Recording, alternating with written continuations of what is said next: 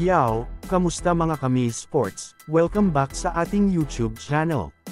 Ngayong araw na ito, ay pag-uusapan natin, Lakers future secured kay Christie. Pag-uusapan na din natin, Lakers kumpleto na ang centers.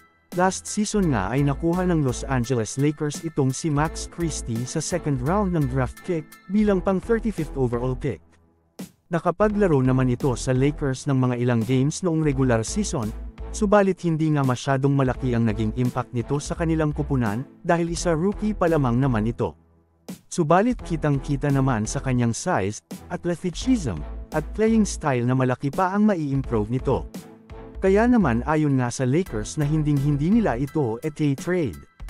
Ngayon nga lamang sa naging laro nito sa Summer League ay naghalimaw nga ito, na kung saan, dumating pa nga sa point na nag-MVP chance na ang crowd, na kung saan, paniguradong makakadagdag ito sa morale at confidence ni Max Christie para sa susunod na season.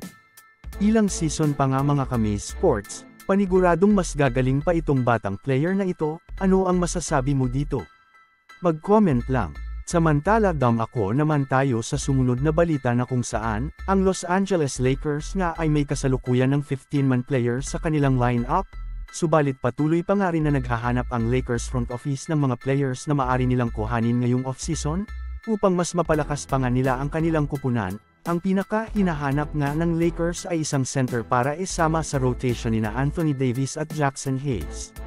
Subalit ayon nga sa mga NBA insiders na hindi na nga nila kailangan pang maghanap ng isang center dahil nandyan naman si Colin Castleton na maganda at consistent na nga ang ipinapakita sa Summer League, kaya naman maaring dito na lamang ibigay ng Los Angeles Lakers ang kanilang last spot sa kanilang roster. Ano ang masasabi mo dito? Mag-comment lang. So, ayon lamang ang ating mabilisang balita sa araw na ito, sana ay nag-enjoy ka. Huwag mo na ding kalimutang mag-subscribe bilang pagsuporta sa ating YouTube channel. Maraming salamat po.